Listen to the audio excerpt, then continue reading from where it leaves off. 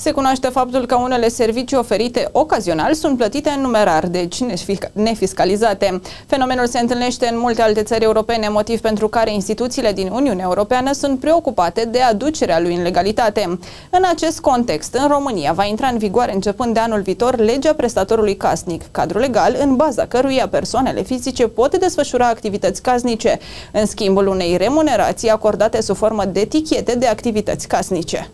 Legea definește activitatea casnică drept activitatea ocazională necalificată desfășurată de un prestator casnic în legătură cu gospodăria unei familii sau a unei persoane singure în calitate de beneficiar. Activitatea nu este efectuată în scop comercial și include servicii de curățenie, igienizare, spălat, călcat rufe, croitorie, prepararea hranei, îngrijire corporală, hrănire ori um, de supraveghere a beneficiarului casnic dependent. Între prestator și beneficiar se stabilește o înțelegere verbală în vederea prestării activităților casnice. Cei care prestează aceste activități vor fi plătiți prin tichete pentru activități casnice cu o valoare de 15 lei. Acestea pot fi cumpărate de la agențiile pentru ocuparea forței de muncă județene, cele care vor achita și obligațiile fiscale în numele prestatorilor casnici.